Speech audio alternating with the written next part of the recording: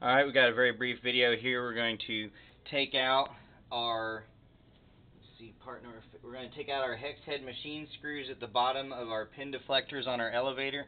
We have issues here with our those hex head screws vibrating out over time and then the pin deflectors uh, right up here. These parts right here that actually guide the shovels through them they get uh, they'll get loose. Their bushing in the bottom will come out, and then the shovels will snag the actual pin deflectors and bend it all up, and then you got a lot of work ahead of you. So this is just a step that we have done to kind of combat that happening to us in the middle of league or some other time. So I can get this all set. One of those. All right, so got our 13 millimeter wrench. Let's go ahead and extract the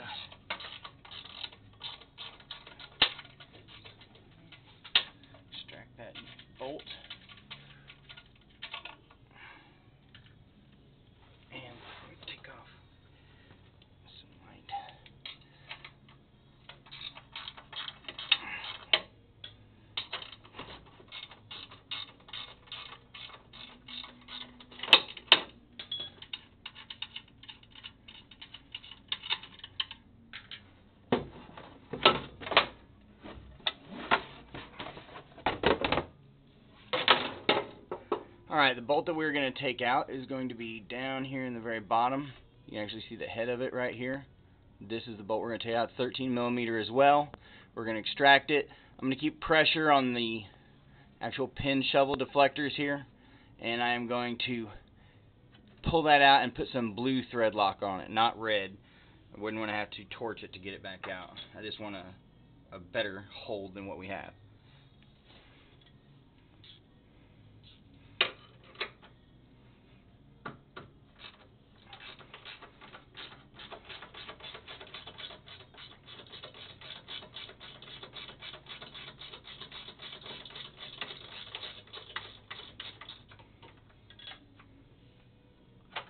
Alright, so I got the bolt loose. I'm going to keep pressure on it because I don't want that bushing to drop. I'm going to go ahead and set the bolt down. Get this thing real rest. Sorry about it. All the, there we go. Hold it with my hand and set this bolt down somewhere on the ground, lean it up near the base of the elevator. Put my blue thread locker on it.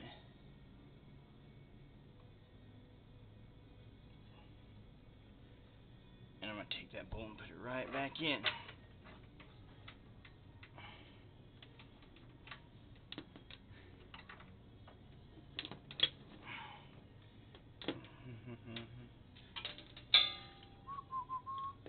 so I can get a little better light here. Get this going.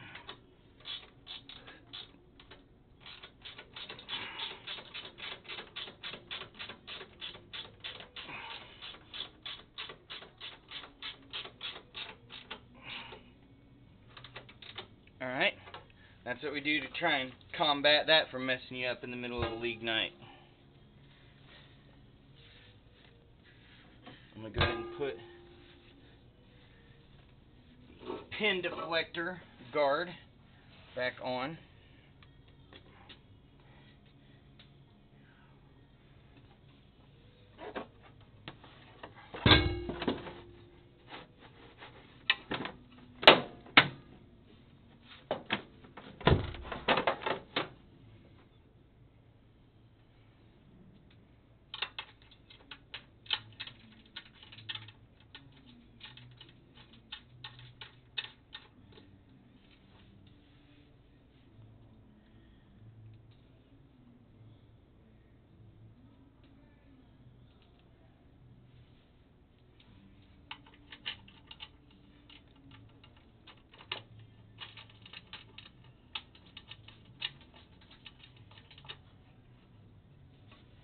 Alright, so I'm taking into account keeping my pin deflector off my transport band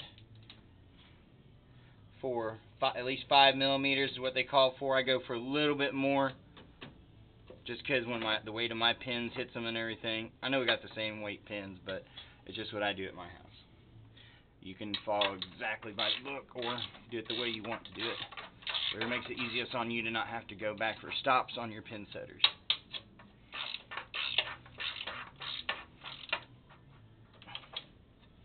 And I'll show you what I mean at the bottom here.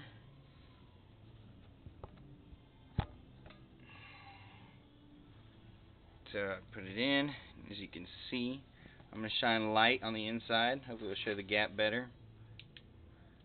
See that gap between there? All across the bottom of that edge of that transport band. Get you down here you can see.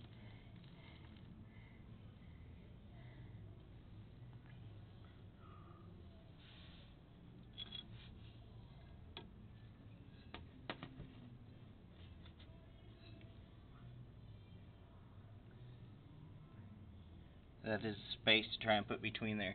You gotta think too whenever the pins are shoved to the back of the lane, they are going to push down on that deflection board as well. You don't want it so so low, so tight that when the pins hit against it, they push it into the band and rub it. And you don't want it so high as to where you'll have issues with your pins, the heads, coming through on this side right here. Alright, that is how we thread lock our elevators.